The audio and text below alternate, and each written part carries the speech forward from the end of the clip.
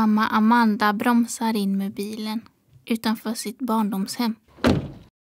Ska vi bo här? säger Elias. Ja, svarar pappa Hampus. Men jag vill inte bo här.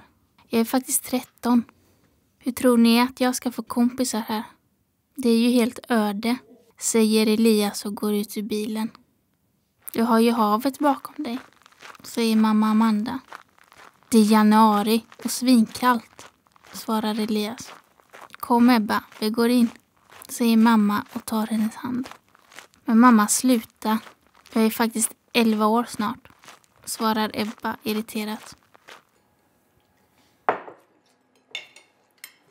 Efter att de har ätit middag går Elias in på sitt rum. Hur ska jag kunna trivas här? tänker han och sätter sig på sängen. Det enda de har hunnit ställa in i hans rum. Elias, viskar en röst. Han tittar sig omkring men ser ingen. Det kanske är Ebba som skojar med honom. Ebba, ropar han. Ja, vad vill du?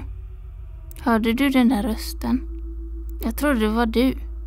Ebba skakar på huvudet åt sin bror. Vet du, du är knäpp, säger hon och går ut ur rummet. Elias går ner för trappan och in till mamma och pappa. De håller på att hänga upp tavlor i vardagsrummet. Hej Elias, säger mamma. Men nu hänger den ju snett, säger Hampus. Det är bättre jag hänger upp tavlan. Men hallå, är det för att jag är kvinna eller? Ja, självklart. Du ska stå vid spisen och ta hand om barnen, säger Hampus och flinar. Vad du är dum. Hallå, jag skojade, säger han och kramar henne. Sluta med det där kramkalaset nu. Jag hörde en röst i mitt rum förut, säger Elias. Men lilla gubben, det är bra med mycket fantasi. Men du är väl lite för gammal för att tro på spöken, säger pappa. Men jag hörde något. Men det var väl Ebba du hörde, säger mamma. Elias rycker på axlarna och går ut ur rummet.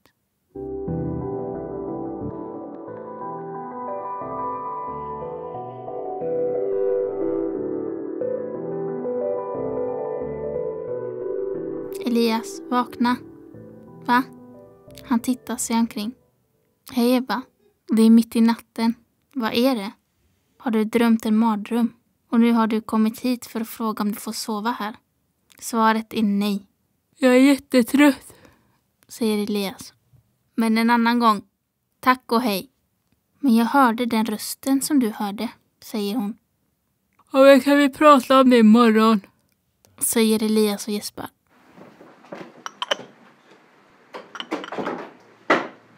Mamma, får vi gå upp på vinden? Nej, svarar hon. De sitter och äter frukost. Det är en massa saker på vinden som ni kan skada er på. Men vad ska vi annars göra? Jag och Ebba har ingenting att göra. Eller hur Ebba? Blanda inte in mig, säger Ebba. Men nej, det finns inget att göra här. Vi går upp på vinden, säger Elias till Ebba när de är själva. Men tänk om vi skadar oss, säger hon. Elias rycker på axlarna. Strunt i dem, jag vill ha ett äventyr. Det händer ju inget i det här kråkslottet. Som storebror har du faktiskt ett uppdrag att skydda mig, säger hon. Ja, men jag har tagit ledigt för tillfället. Kom nu så går vi. På vinden hör de rösten. Ebba tar tag i Elias hand. Vad tror du den vill? Vet inte, svarar han. Plötsligt skriker Ebba till. Någon tar tag i mig, säger hon. Elias ställer sig framför Ebba. Du rör henne inte, säger han. Han ser bara en hand som håller i Ebbas arm. Släpp henne. Innan handen släpper taget klappar den på Ebbas arm. Kolla Elias, det står något på väggen, säger Ebba och pekar. Jag kan inte läsa det där, säger Elias. Det är så konstiga bokstäver. Det verkar vara någon gammaldags skrivstil. Kom, kan vi gå nu? Jag är rädd, säger Ebba. De har hunnit till trappan när de hör rösten viska. Elias. Elias går fram till väggen där handen har ritat något. Kom Ebba, kolla på väggen. En vuxen som kramar ett barn. Jag tror att hon som skrämde dig vill säga förlåt. Hur vet du att det är en hon? frågar Ebba. Hon har långt hår och klänning, säger Elias. Titta, hon ler mot dig. Plötsligt hör de ett jamande. Ebba tittar sig omkring. Hörde du? Det lät som en katt. Min klocka har stannat upptäckte jag nu, säger Elias. Apropå vad då? Du får väl bara byta batteri, säger Ebba. Kom vi går ner. Jag tror att maten är klar, säger Elias. Har vi varit här så länge? undrar Ebba. Jag vet inte. Min klocka stannade på halv fyra. När de kommer ner är det mörkt ute. Elias och Ebba går in i köket. Var har ni varit? säger mamma irriterat. Vi har ropat på er flera gånger. Har ni varit på vinden? Jag sa ju att ni inte skulle gå upp dit. Mamma är arg. Sätt er och ät. Mamma, kan du kolla på min klocka? Den har stannat.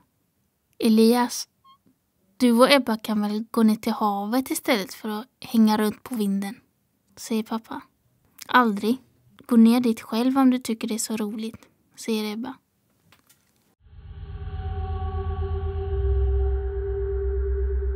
Hur ska jag göra för att meddela mig med barnen? Tänker rösten på vinden. De verkar inte kunna läsa det jag skriver. De verkar rädda för mig. Synd att det ska vara så svårt att kommunicera med mina barnbarn. Hur kunde jag bara lämna Amanda? Jag skulle ju bara gå upp på vinden. Det var en mystisk kraft som gjorde så att det hände. Det blev kallt och började plötsligt blåsa inomhus.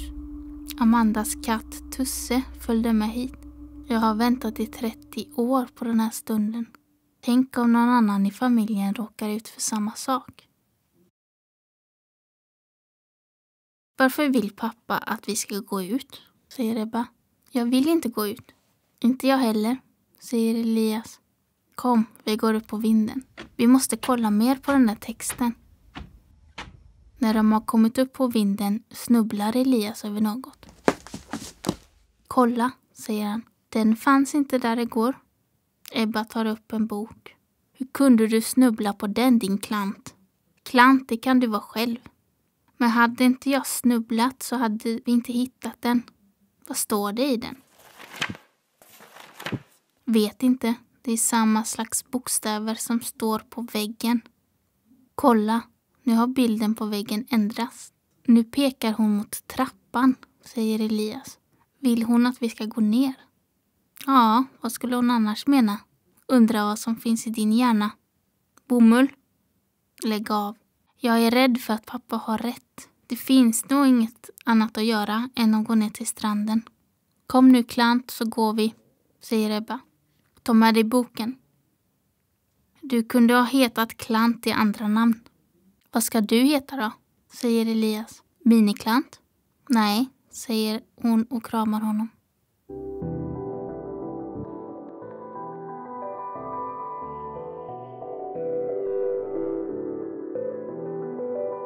När de närmar sig havet böjer Elias sig ner och plockar upp något ur snön på stranden. Ebba går fram till vattnet. När hon står där börjar det plötsligt blåsa och Ebba hamnar långt ut i vattnet. Nej men herregud, tänker rösten från vinden. Ungen är ju i vattnet. Jag måste få upp henne innan det är för sent. Tänk om kraften finns där också. Bara inte hennes storebror får för sig att hoppa i. Hon tittar efter så att Elias står säkert på land. Hjälp! Elias hör henne ropa och springer fram till vattnet. Det blåser. Han kan aldrig simma så långt. Det är kallt. Ebba kämpar i vattnet. Hon känner att det är något som försöker dra ner henne under ytan. Men då plötsligt är hon på land och har torra kläder på sig. Fast de borde vara blöta. Hon ser Elias. Ebba, hur mår du? Bra. Jag trodde jag skulle drunkna. Men när jag kom upp på land var mina kläder torra. Vad hände egentligen? Vet inte. Kom så går vi hem så det inte händer igen, säger Elias. Vad var det du hittade i snön? Elias visar henne ett katthalsband. Det står Tusse på, säger Ebba. Hade inte mamma en katt när hon var barn? Jo, ska vi visa halsbandet för henne? Ja, men måste vi berätta att jag ramlade i vattnet? Nej, men du kommer bli avslöjad. Du är våt i håret. Elias visar henne en av hennes lockar. Oj, jag får nog torka håret. Lycka till! Hårtorken ligger i en av flyttlådorna. Tänk om mamma frågar vad du ska med den till. Vad ska du säga då? Att du har rullat i snön? I så fall får du nog göra det. Är du inte klok? säger hon och kastar snö på honom. Vilken tur att jag fick upp flickan på land, tänker rösten. Jag såg att de har hittat Tusses halsband. Nu måste jag bara få dem att ge det till mig, så att jag äntligen kan bli synlig. Jag måste få dem att trä halsbandet på min hand. Mamma! Ropar Ebba när hon och Elias kommer in i huset. Jag är inne i era rum, svarar hon. Kolla vad vi har hittat, säger Elias och visar katthalsbandet. Men det är ju Tusses. Var har ni hittat det? Ute i snön på stranden, dit du och pappa tvingade oss. Men Ebba, du är våt i håret. Vad hände där ute? Vi hade snöbollskrig, ljuger Elias. Mamma, har du haft en katt? Ja, jag hade en katt när jag var barn. Vad hände med den? Eran mormor gick upp på vinden men hon kom aldrig tillbaka. Hon skulle göra något där uppe och Tusse följde med. Jag tror vi har sett henne, säger Elias. Kom så går vi upp på vinden. Har ni sett mormor? undrar mamma. Ja, fast bara en hand. Vad gjorde handen? Den skrev något på väggen och ritade, säger Ebba och visar sin mamma. Det står med skrivstil, säger mamma. Det var därför ni inte kunde läsa. Vad står det? undrar Ebba. Jag behöver hjälp med att bli synlig. Hämta Amanda. Det är bara hon som kan hjälpa mig. Be henne leta rätt på det röda katthalsbandet som vår katt Tusse hade. Det är förtrollat. Elias sprang genast ner och hämtade halsbandet. Tillsammans såg de hur mormors hand tog halsbandet och plötsligt blev mormor och katten synliga.